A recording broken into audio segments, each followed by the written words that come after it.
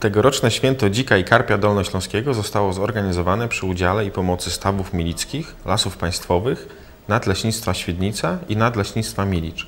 Impreza rozpoczęła się w samo południe na rynku w Świdnicy. Uczestnicy wydarzenia wzięli udział w jarmarku z regionalnymi przysmakami oraz wyrobami rękodzielniczymi.